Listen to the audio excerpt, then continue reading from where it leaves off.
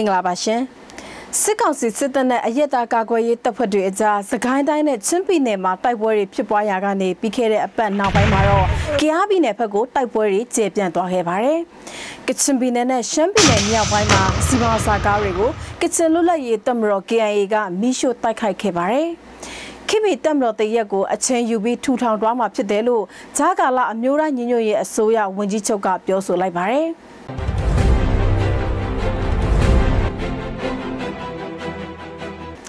အာနာတိုင်းစစ်ကောင်စီနဲ့အရက်သားကာကွယ်ရေးတပ်ဖွဲ့တွေအကြားတိုက်ပွဲတွေပုံမှုကျေပြန့်လာနေပါတယ်။စကိုင်းတိုင်းနဲ့ချင်းပြည်နယ်မှာတိုက်ပွဲတွေဖြစ်ပွားရာကနေပြီးခဲ့တဲ့အပတ်နောက်ပိုင်းမှာတော့ကယားပြည်နယ်ဘက်မှာတိုက်ပွဲတွေဆက်လက်ဖြစ်ပွားလာနေပါတယ်။မေလ23ရက်နေ့ကဒီမော့ဆိုမြို့နယ်ထဲမှာအာနာတိုင်းစစ်ကောင်စီနဲ့အရက်သားတွေနဲ့ဖွဲ့စည်းထားတဲ့ပီတုကာကွယ်ရေးတပ်ဖွဲ့တွေအကြားတိုက်ပွဲတွေဖြစ်ပွားခဲ့ပါတယ်။ ဒီမော့ဆိုမြို့နယ်ပူပေါင်းစစ်စေးရေးဂိတ်ကိုပီတုကာကွယ်ရေးတပ်ကမေလ23ရက်နေ့ညနေ9နာရီခွဲဝန်းကျင်ကသိမ်းပိုက်ကမိရှို့ဖြစ်စီခဲ့ပါတယ်။အလားတူပဲစစ်ကောင်စီရဲ့စစ်သားတွေတင်ဆောင်လာတဲ့ကားတွေကိုပီတုကာကွယ်ရေးတပ်ကတိုက်ခိုက်ခဲ့တာကြောင့်ထိခိုက်သေးဆုံးမှုအများပြားရှိနိုင်တယ်လို့မြင့်မြင့်တပ်တွေကပြောကြပါတယ်။ အရင်ပတ်ထဲမှာတော့ချင်းပြည်နယ်ထဲကမင်းတပ်ဟာခါနဲ့တီးတိမ်မြို့တွေထဲမှာအရက်သားကာကွယ်ရေးတပ်ဖွဲ့တွေနဲ့စစ်ကောင်စီတပ်တွေတိုက်ပွဲဖြစ်ပွားခဲ့ပြီးစစ်ကောင်စီကလေရင်တွေတုံးတဲ့အထိအထိနာခဲ့ပါတယ်ကချင်ပြည်နယ်နဲ့ရှမ်းပြည်နယ်မြောက်ပိုင်းမှာစီပေါင်းစာကားတွေကိုကချင်လွတ်လပ်ရေးတပ်မတော် KIA ကမိရှို့တိုက်ခိုက်ခဲ့ပါတယ်။ မေလ19ရက်နေ့ကပြည်ကြီးနာဘူတာအုံနမပေါ်ဆွမ်ဘရာဘိုမြို့နယ်အတွင်းရှိမိုင်ထောင်းကျေးရွာနဲ့ခတ်ဂရမ်ကျေးရွာကြားမှာစီပေါင်စာကားတစည်းပြစ်ခတ်မိရှုခံရပြီးနောက်နောက်မှာပါလာတဲ့စီပေါင်စာကားကတော့လက်ပြန်တွားတယ်လို့ဆွမ်ဘရာဘိုဒေတာခန်တွေကပြောပါတယ်။ အပြစ်ခံရတဲ့ကားကမြစ်ကြီးနားကနေဘူတာအောင်ကိုစီတင်လာတဲ့တိုင်းကျော်73စီအယောင်ဆိုင်ပိုင်းစီပေါင်စာကားဖြစ်တယ်လို့မျက်မြင်သက်တွေတွေကပြောပါတယ်။ရှမ်းပြည်နယ်မြောက်ပိုင်းကုခိုင်မြို့နယ်အတွင်းမူဆယ်ကုခိုင်တိန်နီလမ်းမကြီးပေါ်မှာတော့မေလ18ရက်နေ့ညနေပိုင်းနဲ့မေလ18ရက်နေ့မနက်ပိုင်းတွေမှာအာဏာသိမ်းစစ်ကောင်စီတပ်ရဲ့စီတင်ကားတချို့ကိုကချင်လွတ်လပ်ရေးတပ်မတော် KNA ကလမ်းမပစ်ခတ်ဖြိုခွင်းခဲ့တယ်လို့ကချင်လွတ်လပ်ရေးအဖွဲ့ KNO KNA တည်င်းနဲ့ပြန်ကြားရေးတာဝန်ခံဗိုလ်မှူးကြီးနော်ဘူကအတည်ပြုပြောပါရယ်တည်င်းတွေအရရှမ်းပြည်နယ်မြောက်ပိုင်းမှာဖျက်ဆီးခဲ့တဲ့စီတင်ကားက9စီးဖြစ်ပါတယ်မေလ12ရက်နေ့ကလည်းနှမတီဖက်ကနေမြစ်ကြီးနားမြို့ကိုဝင်လာတဲ့စီပေါင်စာကား6စီးစစ်ကား5စီးနဲ့တင့်ကား3စီးပါဝင်တဲ့စစ်ကောင်စီတပ်ရဲ့ရင်တန်းမြစ်ကြီးနားမြို့အဝင်အကဲကျေးရွာအနီးကတက်စီဆိုင်တဆိုင်နာအရောက်မှာဘုံခွဲတိုက်ခိုက်ခံရတယ်လို့မြစ်ကြီးနားဒေသခံတွေကပြောပါရယ် ရှမ်းလက်နက်ကန်တွေအကြားဖြစ်ပွားနေတဲ့တိုက်ပွဲတွေကြောင့်ရှမ်းပြည်နယ်မြောက်ပိုင်းဒီဘောမြို့နယ်အတွင်းကျေးရွာအုပ်စု၄ခုကနှောက်ထက်ရွာသား9000ကျော်စစ်ပေးသိမ်းရှောင်နေကြရပါတယ်။ ဒီဘောမြို့နယ်ဝမ်စင်ကျေးရွာအုပ်စုဝမ်စင်ဖုံးတော်ကြီးကျောင်းမှာလူဦးရေ2500ကျော်ရှိနေပြီဖြစ်ပြီးတခြားရွာသားတွေကနတ်မလန်မြို့ဘက်ကိုထွက်ပြေးနေကြရတယ်လို့ပြောပါရယ်ဒီဘောမြို့နယ်ဝမ်စင်ကျေးရွာအုပ်စုအတွင်းမေလ19ရက်နေ့ကစတင်ပြီးရှမ်းတိုင်းရင်းသားလက်နက်ကန်အဖွဲ့တွေဖြစ်ကြတဲ့ရှမ်းပြည်တိုးတက်ရေးပါတီ SSPP SSA နဲ့ရှမ်းပြည်ပြည်လည်ထူထောင်ရေးကောင်စီ RCSS SSA တို့အကြားတိုက်ပွဲတွေဖြစ်ပွားခဲ့တာဖြစ်ပါတယ်။ အဲ့နောက်မှာတော့နှစ်ဖက်လက်နက်ကင်တွေကကျေးရွာတွေထဲစစ်ကြောင်းထိုးဝင်ရောက်ရှိလာတဲ့အတွက်တိုက်ပွဲတွေပြင်းထန်လာမှာကိုစိုးရင်ပြီးရွာသားတွေကစစ်ပေးလို့ရကိုထွက်ပြေးနေကြရတယ်လို့ထွက်ပြေးလာသူတွေကပြောပါတယ်။အခုထွက်ပြေးတိမ်းရှောင်နေကြရတဲ့ဒေသခံပြည်သူတွေကဝမ်စင်းခေါ်ကုန်းယုံကျေးရွာအုပ်စုမှန်ချောင်းကျေးရွာအုပ်စုနာလီကျေးရွာအုပ်စုဟိုခဲကျေးရွာအုပ်စုအတွင်းရှိဒေသခံရွာသားတွေဖြစ်တယ်လို့သိရပါတယ်။ ကျေးရွာအုပ်စု၄ခုအတွင်းရွာပေါင်း25ရွာနဲ့အထက်ရှိရာကုန်းယုံခေါ်ဝမ်စင်ကျေးရွာအုပ်စုထဲမှာလူဦးရေ1800ကျော်နာလေကျေးရွာအုပ်စုမှာလူဦးရေ1600နီးပါးမှန်ကျောင်းကျေးရွာအုပ်စုမှာလူဦးရေ1200ကျော်ဟူခဲကျေးရွာအုပ်စုမှာလူဦးရေ2500နီးပါးရှိတယ်လို့2019ခုနှစ်ကထုတ်ပြန်ထားတဲ့ဒီဘောမြို့နယ်အထွေထွေအုပ်ချုပ်ရေးဦးစီးဌာနရဲ့ဒေသဆိုင်ရာအချက်လက်စည်းရင်းစရာတွေအရသိရပါဗျ။ ဩစတြေးလျကရင်အဖွဲ့အစည်း AKO က NCA ကိုပြန်လည်အသက်တွင်းဖို့အားထုတ်တာဟာလက်ရှိနိုင်ငံရေးအကျက်တဲတွေကိုမြက်ွယ်ပြုရာရောက်တယ်လို့ကရင်အမျိုးသားအစည်းအရုံးဥက္ကဋ္ဌကိုရည်ညွှန်းပြီးတဘောထားထုတ်ပြန်လိုက်ပါတယ်။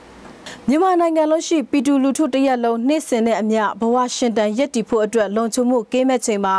စစ်အာဏာသိမ်းပြီးကတည်းကပြစ်ပြစ်တွားပြီးဖြစ်တဲ့2008ဖွဲ့စည်းပုံအောက်ကပေါက်ဖွာလာတဲ့အပြည့်ရစာချုပ် NCA ကိုပြန်လည်အသက်သွင်းဖို့အားထုတ်တာဟာလက်ရှိဖြစ်ပေါ်နေတဲ့နိုင်ငံရေးအကျက်တဲတွေကိုမြက်ွယ်ပြုရာရောက်တယ်လို့တဘောရာထုတ်ပြန်ပြောဆိုလိုက်တာဖြစ်ပါတယ်။ NCA လက်မှတ်ထိုးပြီးချိန်ကစပြီးမြန်မာတပ်မတော်ဘက်ကစာချုပ်ပါအချက်တွေကိုဥစွာချုပ်ဖောက်ခဲ့ပါတယ်။ ဒေတာဖွံ့ဖြိုးရေးကိုအကြောင်းပြုပြီးကရင်ဒေတာအတွင်းတပ်စခန်းတွေအခိုင်အမာစောက်လာတဲ့စစ်ရေးဗျူဟာစိုးမိုးရေးအတွက်လမ်းတွေဖောက်လုပ်တာနဲ့တခြားသောအကြီးစားစီမံကိန်းတွေကြောင့်ဒေတာအတွင်းကကရင်အမျိုးသားလွတ်မြောက်ရေးတပ်မတော် KNL တွေတပ်ဖွဲ့နဲ့ထိတ်တိုက်ထိတွေ့မှုပေါင်းများစွာဖြစ်ပွားခဲ့ပါတယ်။ အဲ့ဒီအပြင်ကြေးရွာထဲကိုအမြောက်ကြီးတွေနဲ့လမ်းပစ်တဲ့အပြင်လေရင်နဲ့ဘုံကျဲတိုက်ခိုက်ခဲ့တဲ့အတွက်ကြောင့်ဒေသခံအမြောက်များဟာနေဆက်ဒေသနဲ့ထိုင်းနိုင်ငံအတွင်းကိုထွက်ပြေးသိမ်းရှောင်နေရတယ်လို့ထုတ်ပြန်ချက်မှာဖော်ပြထားပါတယ်။စစ်ကောင်စီတပ်ဖက်က NCA စာချုပ်ကိုချိုးဖောက်မှုများစွာရှိခဲ့ပေမဲ့လည်း KNU ဥက္ကဋ္ဌစောမှုတူစေးဖို့အနေနဲ့ NCA မူပေါင်းအတိုင်းဆက်လက်ဆောင်ရွက်တွားဖို့နဲ့နိုင်ငံရေးပြည်ထနာကိုတွဲဆုံဆွေးနွေးအပြေရှာဖို့ပဲတဘောထားရှိတယ်ဆိုပြီးမေလ10ရက်နေ့မှာလက်မှတ်ရေးထိုးထုတ်ပြန်ခဲ့ပါတယ်။ဒီလိုထုတ်ပြန်တာဟာအာဏာကိုအလွဲတုံးစားလုပ်ပြီးတဦးတယောက်ရဲ့သဘောထားဖြစ်တယ်လို့တုံးတက်ကြောင်း AKO ကပြောပါတယ်။ဒီတဲ့င်းကိုကရင်သတင်းစင်ကပေးပို့ထားတာဖြစ်ပါတယ်။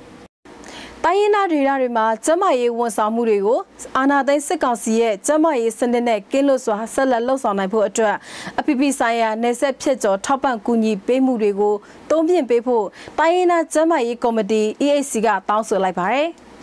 အထူးသဖြင့် CDM ပြုလုပ်နေကြတဲ့ကျမရေးဝန်ထမ်းတွေအနေနဲ့သူတို့လှုပ်ဆောင်နေတဲ့ကျမရေးဝန်ဆောင်မှုတွေကိုစစ်ကောင်စီနဲ့ကင်းလို့စွာဆက်လက်ဝန်ဆောင်မှုပေးနိုင်ဖို့အတွက်အခုလိုတောင်းဆိုရခြင်းဖြစ်တယ်လို့ EAC ရဲ့အထွေထွေအတွင်းရေးမှူးစိုးနေထူးကပြောပါရယ်။တိုင်းရင်းသားကျမရေးကော်မတီ EAC အနေနဲ့အာဏာသိမ်းစစ်ကောင်စီနဲ့ကျမရေးဆိုင်ရာကိစ္စတွေကိုဆွေးနွေးညှိနှိုင်းမှာမဟုတ်ဘူးလို့လည်းပြောပါရယ်။ စစ်တပ်ကအာဏာသိမ်းပြီးတဲ့နောက်ကျမရေးနဲ့အားကစားဝန်ကြီးဌာနကထောင်ထဲချီတဲ့ဝန်ထမ်းတွေစီဒမ်လှုပ်ရှားမှုတွေမှာပါဝင်ကြပြီးသူတို့ဟာအခုဆိုရင်ပြေးလွှားပုံအောင်နေကြရပါတယ်။ DCDM ကျမရေးဝန်ထမ်းတွေအတွက်အပီပီဆိုင်ရာထောက်ပံ့ကူညီပေးမှုတွေကိုမြင့်တင်ပေးခြင်းအဖြစ်ကျမရေးဝန်ဆောင်မှုတွေကိုအာဏာသိမ်းစစ်ကောင်စီရဲ့ကျမရေးစနစ်နဲ့ကင်းလွတ်စွာဆက်လက်ဆောင်ရွက်နိုင်ရဲ့အတွက်လိုအပ်တယ်လို့ EAC ကပြောပါတယ်။ တိုင်းရင်းသားပြည်နယ်တွေမှာစစ်တပ်ကအာဏာမတက်ခင်ကာလကကျမရေးဆိုင်ရာအကူအညီတွေနဲ့ထောက်ပံ့မှုတွေမှာဗဟိုချုပ်ကင်မှုအောက်ကနေဗန်နာငွေစီးဆင်းမှုအနှဲငယ်ရှိခဲ့ပေမဲ့အခုလက်ရှိနိုင်ငံရေးအခြေအနေတွေအရအဲ့ဒီထောက်ပံ့မှုတွေလည်းမရရှိတော့တဲ့အနေအထားနဲ့ကြုံနေရတယ်လို့ဆိုပါတယ်။အိန္ဒိချင်းနိုင်ငံတွေဖြစ်ကြတဲ့အိန္ဒိယနိုင်ငံဘင်္ဂလားဒေ့ရှ်တရုတ်နိုင်ငံနဲ့ထိုင်းနိုင်ငံတွေကနေတိုင်းရင်းသားလက်နက်ကိုင်ကျန်းမာရေးအဖွဲ့အစည်းတွေစီမံအုပ်ချုပ်ရာဒေသတွေမှာအရေးပေါ်လိုအပ်နေတဲ့ကိုဗစ် 19ကာကွယ်ဆေးတွေကိုလူသားချင်းစာနာထောက်ထားမှုဆိုင်ရာဆောင်ရွက်ချက်အရဒေါ်လကောင်တိုင်းရင်းသားပြည်သူတွေကက်ယောဂကူးစက်မှုကနေကာကွယ်နိုင်ဖို့အတွက်တော်၎င်းတည်ယူပို့ဆောင်ခွင့်ပြုဖို့ EAC ကမေလပထမပတ်ထဲမှာထုတ်ပြန်တောင်းဆိုထားပါတယ်။ EAC ရဲ့ပြောပြချက်အရကချင်လွတ်လပ်ရေးအဖွဲ့ KNO နယ်မြေထဲကပြည်သူတချို့ပဲကိုဗစ် 19 ကာကွယ်ဆေးထိုးနိုင်တဲ့အခြေအနေရှိနေပြီးကြံတိုင်းရင်းသားနယ်မြေတွေမှာကိုဗစ် 19 ကာကွယ်ဆေးတွေတာမကကူးစက်ရောဂါတွေကိုထိန်းချုပ်နိုင်ဖို့အတွက်ကျန်းမာရေးဆိုင်ရာပစ္စည်းတွေပါလိုအပ်နေတယ်လို့သိရပါတယ်။တိုင်းရင်းသားကျန်းမာရေးကော်မတီ EAC ကထိုင်းမြန်မာနယ်စပ်ဒေသတခြားရှိမွန်ကရင်ကရင်နေနဲ့ရှမ်းတိုင်းရင်းသားလက်နက်ကိုင်တွေစီမံအုပ်ချုပ်တဲ့ဒေသအတွင်းကချင်ပြည်နယ်ချင်းပြည်နယ်နဲ့တခြားနယ်စပ်ဒေသတွေမှာကျန်းမာရေးဆောင်ရှောက်မှုတွေပေးနေတဲ့တိုင်းရင်းသားကျန်းမာရေးအဖွဲ့တွေရဲ့အဓိကမိတ်ဖက်စုဖွဲ့မှုတစ်ခုဖြစ်ပါတယ်။နိုင်ငံရေးမတည်ငြိမ်မှုတွေကြောင့်73စီတွေဈေးတက်လာပြီးတည်ယူပို့ဆောင်ခတွေအစမတန်တက်လာတာကြောင့်ရှမ်းပြည်နယ်လွိုင်းလင်မြို့နယ်ထဲကဖဲရီရောင်းသူတွေအခက်တွေ့နေကြရပါတယ်။ နေ့စဉ်ဇန်နဝါရီလကနေဇွန်လအထိပင်လုံမြို့အနီးမှာရှိတဲ့နောင်ဟူနဲ့ဝမ်အန်ရွာကရွာတူရွာသားတွေဟာလွယ်လင်းပင်လုံလမ်းမပေါ်မှာမြန်မာပြည်အလဲပိုင်းကဖရဲဒီတွေကို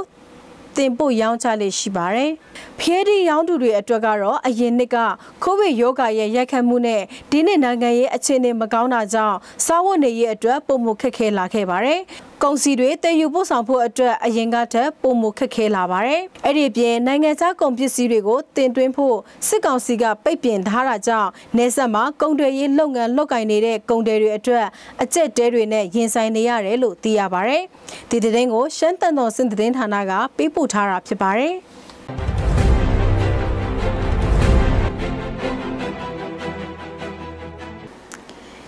မီတက်မတော်တရက်ထူထောင်နိုင်ဖို့အဖက်ဖက်ကနေပြင်ဆင်မှုတွေလှုပ်ဆောင်နေရတဲ့အတွက်အချိန်ကာလတစ်ခုလိုအပ်တဲ့အပေါ်ပီတူတွေအနေနဲ့လက်ခံနားလည်ပေးဖို့ပြည်ထောင်စုဝန်ကြီးချုပ်မန်ဝင်းခိုင်တန်းကပြောပါတယ်စောပွဲကတင်ဆက်ပေးထားပါတယ်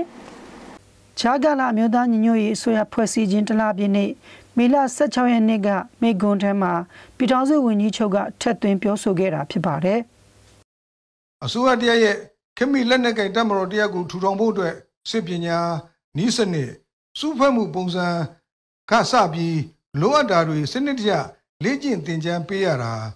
စစ်ရင်အားလက်နက်အင်အားပြုစုံအောင်ပြင်ဆင်လှုပ်ဆောင်ရတာတွေကြောင့်ထိုက်တန်တဲ့အချိန်ကာလတစ်ခုလိုအပ်တယ်ဆိုတာပြည်သူလူထုအားလုံးလည်းလက်ခံနားလည်သိကြမယ်လို့မျှော်လင့်ပါတယ်အဲ့လိုလှုပ်ဆောင်နိုင်မှ ပြည်သူတွေအားကိုးအားထားတဲ့တက်မတော်တက်ဖြစ်လာမယ်လို့ဂျာကာလာအမျိုးသားညီညွတ်ရေးအစိုးရ NUG ပြည်ထောင်စုဝန်ကြီးချုပ်ကဆက်ပြောပါတယ်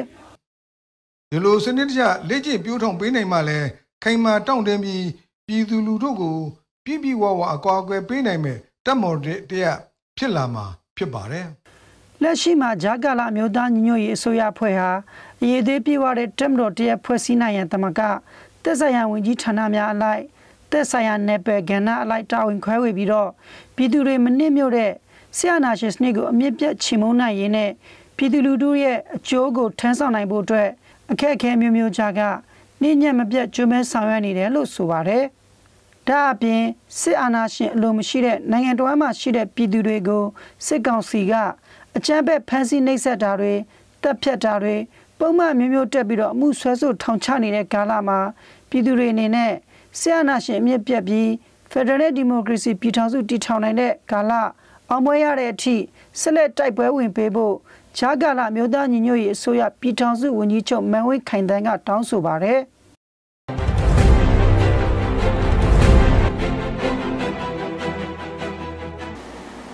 အစစ်စင်ကိုကြည့်ရှုအားပေးနေတဲ့မြူအပီတူပေါင်းရှင်လန်းချမ်းမြေကြပါစေရှင်နောက်တစ်ပတ်ဒီလိုချိန်မှာစောင့်မျှကြည့်ရှုကြောက်ဖို့တိုက်တွန်းရင်ဒီတစ်ပတ်စင်စီကိုရန်နာခွင့်ပြုပါရှင်